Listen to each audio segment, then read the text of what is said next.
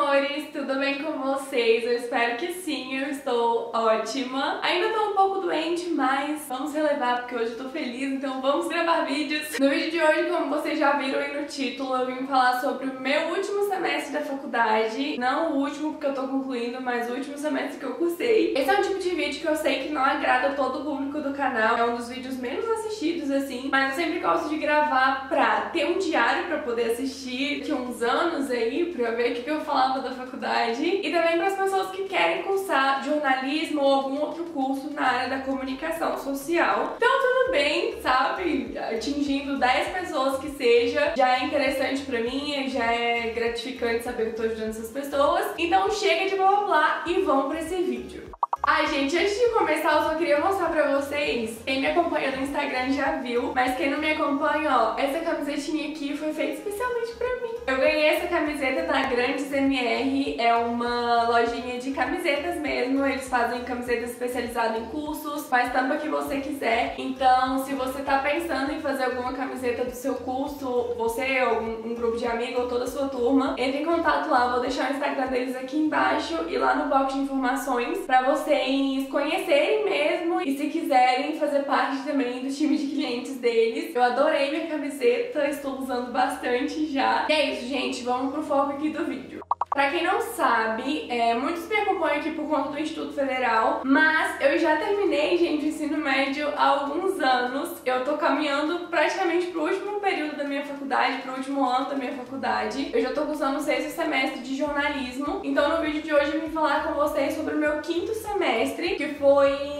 o mais puxado, assim, que eu já tive na minha vida. Mas eu já estou comentando uma coisa que eu queria comentar depois. Mas enfim, vamos lá. Eu curso jornalismo no IESB, em Brasília. Pra quem é daqui, muitas vezes vocês me perguntam também de onde que eu sou, onde que eu faço faculdade. Então é isso, eu faço no IESB, Brasa Sul. Eu sou bolsista, gente. Muitas pessoas não sabem isso também, mas eu acredito que eu esteja lá no IESB hoje muito por conta do Instituto Federal, que foi que me deu base pra realmente conseguir uma bolsa do ProUni. Então é isso, eu não tenho condições de pagar a mensalidade do IESB, tô lá como bolsista.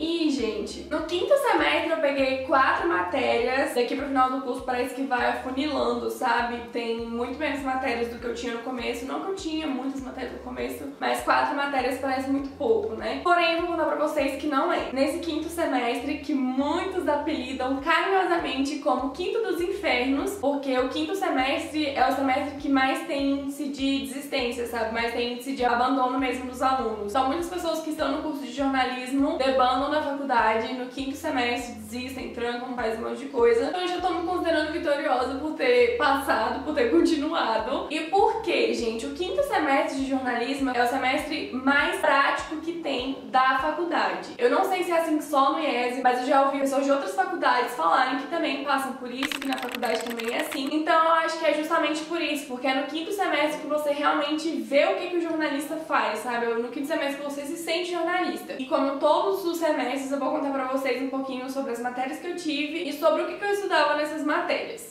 Primeira matéria é Elementos da Linguagem Audiovisual. Foi uma matéria, assim, 80% prática, foi uma matéria que eu gostei muito de cursar. Tudo que envolve, assim, edição, principalmente de vídeo, criação de conteúdo, são coisas que eu gosto bastante porque eu já tô no meio, não que eu saiba de tudo. Gente, é na faculdade mesmo que a gente percebe que a gente não sabe praticamente nada, mas é justamente por isso que eu gosto, porque eu tô aprendendo coisas novas que eu posso agregar ao meu trabalho no YouTube. Então, primeira matéria foi essa. Elementos da linguagem audiovisual foi uma matéria que eu peguei bastante conteúdo assim no começo, de coisas mais teóricas, e depois que nós fomos realmente pra prática. Eu listei algumas coisas aqui que são as mais importantes que eu estudei ao longo do semestre, que foi a história do audiovisual, questão de fotografia mesmo, a questão do primeiro filme que foi gravado, a dimensão do cinema. Além disso, eu estudei os elementos do audiovisual, então cada coisa que compõe um audiovisual, a captação de som, tipos de microfone e de sons que podem estar presentes no audiovisual. Isso é uma coisa muito interessante pro canal. Me mostrou, assim, sabe, eu aprendi mais sobre captação de som. Eu quero muito começar a evoluir em questão de som mesmo aqui no canal. mas por enquanto não temos condições, então vamos continuar com o áudio captado pela minha linda câmera, que também foi sofrida pra comprar. Mas eu já sabendo, sabe, já tendo pego essa matéria, eu sei que quando eu tiver capital, eu vou saber investir bem em captação de som. Além disso, eu também estudei a captação de imagem, obviamente, e os elementos da imagem, que são frame, take, plano, cena, sequência e montagem. Então nessa matéria eu aprendi desde as coisas mais teóricas de como fazer um vídeo de 5 segundos até a produção de um vídeo mesmo grande e muito legal,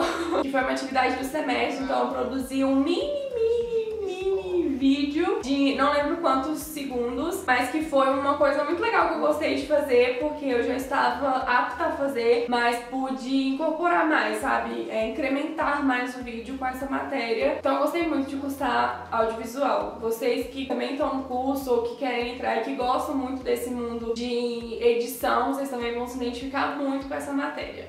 Segunda matéria que eu peguei, eu ia colocar essa matéria pro final, mas vou colocar aqui logo, porque assim, não gosto. Segunda matéria que eu peguei foi Direitos Humanos e Ambientais. Eu falei direitos, né? Direitos Humanos e Ambientais. Foi uma matéria à distância. Como todo vídeo de todo semestre eu falo aqui pra vocês, eu não gosto de matéria à distância. Eu sempre deixo de lado, eu tento, assim, me organizar direitinho, mas eu sempre deixo de lado. Não é aquele compromisso que eu tenho com as aulas presenciais, isso é um problema meu, sim. Mas enfim, não tivesse matéria à distância, eu estaria focada nessa matéria. Essa matéria, gente, por mais que pareça assim, tipo, o que que essa matéria tá fazendo em jornalismo? Faz muito sentido, porque eu acho assim, o básico, eu acho que todo mundo deveria estudar o básico do direito, independente do curso. Então, nesse curso, eu estudei a definição dos direitos humanos e suas características, a área do conhecimento dos direitos fundamentais, as gerações dos direitos humanos, macroética ambiental, meio ambiente sadio como direito fundamental e a proteção do meio ambiente na Constituição Federal geral. Não vou me adentrar nessa matéria, por quê? Porque eu não vou mentir pra vocês, eu não lembro de muitas coisas que eu estudei, e eu realmente estudei. Esse semestre passado, acho que foi o semestre que eu mais foquei, assim, nessa matéria, que é a distância, né? Mas hum, não foi uma coisa, assim, que me agregou muito, não. Claro que o básico me agregou bastante, porque o básico eu vou levar pro resto da minha vida. Mas, no total, assim, não foi uma matéria que eu falei, show de bola, gostei muito. Não, não foi.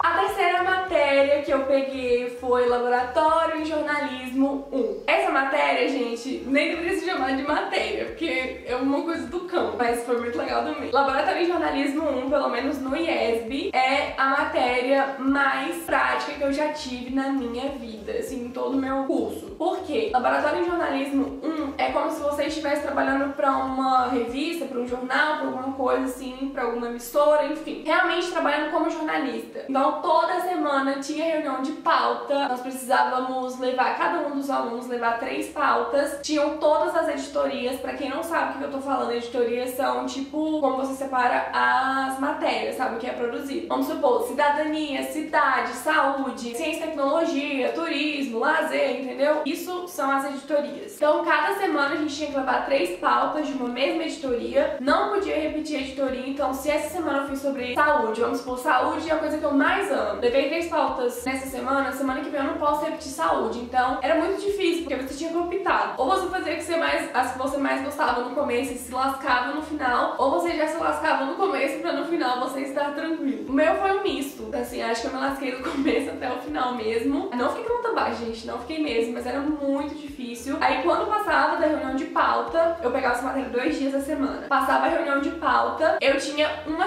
menos de uma semana, eu tinha cinco ou seis dias para produzir uma matéria. Então levava três pautas, a professora aprovava as que ela queria, eu escolhia uma, se ela tivesse aprovado só uma, eu tinha que ficar com a que ela aprovou, e aí eu ia fazer a matéria. E fazer a matéria não é só, ah, tipo, vou pesquisar na internet aqui, vou colocar lá qualquer coisa que eu achar. Não, gente, produzir uma matéria é não plagiar. Então eu ia apurar, eu ia entrevistar as pessoas que eu já tinha sugerido que eu ia entrevistar, e no final eu tinha que montar toda a matéria. Além do texto, também tinha que levar imagens, então foi um semestre que eu usei muito a minha querida câmera, me ajudou bastante. E foi isso, gente, o semestre inteiro, desde a segunda semana de aula, porque na primeira semana sempre a apresentação, mostrando o cronograma e tal. Foi desde a segunda até a última, praticamente, do semestre. Tô até trocando as palavras aqui pra vocês verem o tanto que essa matéria me deixa, assim, norteada. E, gente, por mais que tenha sido a matéria mais difícil, mais cansativa, foi a matéria que mais me deu força pra continuar. Porque foi nesse semestre que eu percebi que, cara, esse trabalho é muito massa e eu quero seguir isso pra minha vida. O que eu falei pra vocês de muitas pessoas abandonarem os cursos nesse quinto semestre é porque a pessoa não queria aquilo, sabe? Até o quinto semestre tava se enganando e no quinto semestre viu o que que é. Então se a pessoa não gosta, assim, da área, não gosta de exercer aquilo, ela já sai. Então é isso, gente. Laboratório foi a matéria que me mostrou o que que é o jornalismo, sabe? O que que é ser jornalista. Tô cansada até hoje dessa matéria? Estou cansada até hoje dessa matéria. Mas eu amei passar por essa experiência.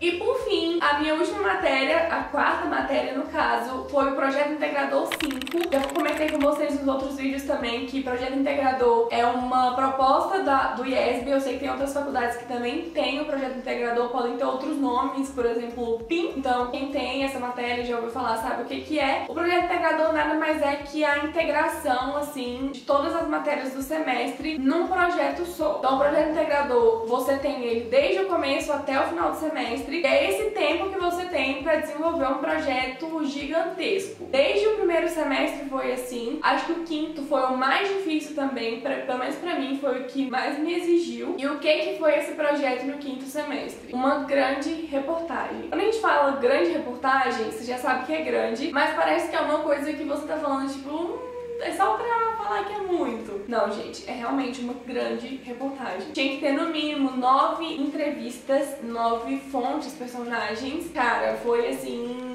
de me deixar louca. Quinto semestre não foi fácil pra mim, justamente por conta do projeto integrador e da matéria de laboratório, mas eu acho que não tem nada mais gratificante que você concluir e ver que você fez o seu melhor, sabe? Então foi basicamente isso, o projeto integrador 5 foi uma grande reportagem e foi o mesmo processo de laboratório 1. Foi um processo desde a sugestão da pauta até a montagem final da reportagem. Então eu tive uma reunião de pauta do projeto integrador, pra vocês verem como foi sério, eu tive acho que três semanas de reunião de pauta Na primeira eu falei só as ideias que eu tinha, assim, tipo, ideias flutuantes. Na segunda eu já levei a pauta fundamentada, falando tudo sobre o que, é que eu queria fazer, quem eu queria entrevistar, blá blá blá. Levei, acho que duas sugestões, ou eram três, não lembro. E depois disso o professor ainda falou, olha, tudo bem, você quer fazer isso? Eu falei, quero fazer isso. Então trabalha mais nessa pauta aqui, trabalha mais nessa pré-apuração. E aí sim, foi a minha terceira semana de reunião de pauta, quando o professor bateu o martelo, falou, ok, você vai fazer essa matéria aqui. Então, foi desde esse começo até o mesmo processo de entrevistar as fontes, entrevistar os personagens, degravar cada uma das entrevistas, gente, degravar, pra quem não sabe, é você escutar tudo que você perguntou, tudo que a pessoa respondeu e digitar tudo, sabe, escrever tudo. E aí depois da degravação, você trabalhar, pensar o que, que você vai escrever, o que, que é mais importante, qual fala mais importante daquele profissional, qual fala mais importante daquele personagem, e enfim, até a montagem final mesmo ali da matéria. Outra coisa, gente, que eu esqueci de comentar desde o começo é que o projeto integrador do quinto semestre de jornalismo lá no IESB é uma revista, então você faz todo esse processo de fazer uma grande reportagem concorrendo para entrar numa revista. Não são todos os alunos que entram, é tipo um terço dos alunos ou até menos, dependendo da quantidade de pessoas na sala. Eu acho que entraram 16 reportagens, se eu não me engano. Tinha muito mais aluno que isso, então foi assim um processo que, por mais que não seja legal competição, mas foi um processo que você tentava dar o seu melhor pra conseguir entrar. E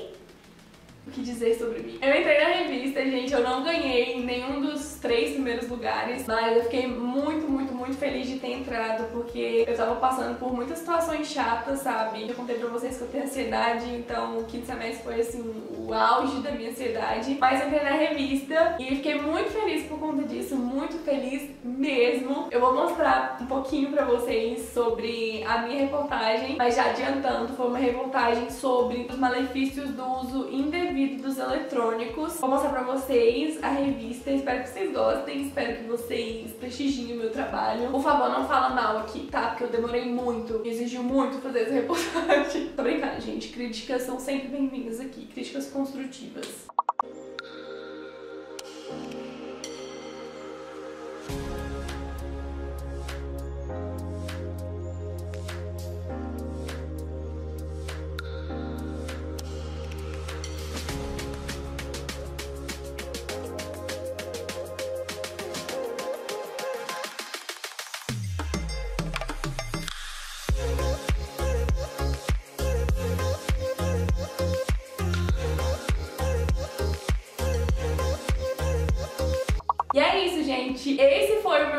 Meu foi um semestre divisor de águas. Hoje sim, eu me considero quase uma jornalista, tô quase lá no final do ano que vem eu já me formo. E é isso, pra você que quer entrar nesse curso, quer fazer jornalismo, eu te dou a maior força do mundo. Se você é uma pessoa que gosta de ler, se você é uma pessoa que gosta de escrever, que gosta de editar, de fazer assim, pôr a mão na massa mesmo, porque cada dia que passa o jornalismo tá se tornando mais, assim, não é essa palavra, mas tá se tornando mais individual, sabe? Uma coisa que uma pessoa só tem que dar conta de fazer tudo. Antigamente você saía, você era repórter, saía pra apurar alguma coisa, mandava pra sua redação, sua redação fazia todo o resto. E hoje em dia não, gente. Hoje em dia o repórter vai pra rua, faz entrevista, faz apuração, grava entrevista, faz matéria e posta de lá mesmo onde ele tá. Então o jornalismo tá se tornando cada vez mais tecnológico, a gente precisa acompanhar isso. Mas é isso, gente. Espero que vocês tenham gostado desse vídeo. Se você gostou, não se esqueça de deixar aquele like pra ajudar a compartilhar o vídeo e o canal. Se você ainda não é inscrito aqui, tá me vendo pela primeira vez, já vai clicando no botão de se inscrever aqui embaixo. E não se esqueça de ativar o sininho de notificações, porque é só assim que o YouTube vai te notificar quando eu postar vídeo novo. E se você não me acompanha lá no Instagram, me acompanha lá. É o Bigabi Studies, é o meu Instagram de estudos. E é por lá que eu consigo bater um papo com vocês diariamente, assim, quase que em tempo real. Quando você quer falar comigo, é só me mandar lá no direct. Quando tiver um tempinho, eu te respondo. E é isso, gente. Um beijo